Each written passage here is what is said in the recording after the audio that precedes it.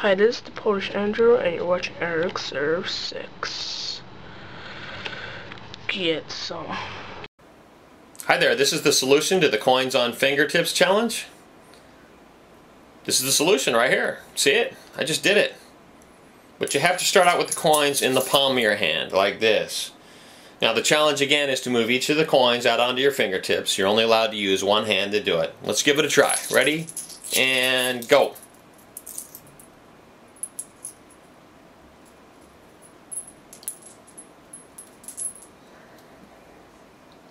Fingers are shaking.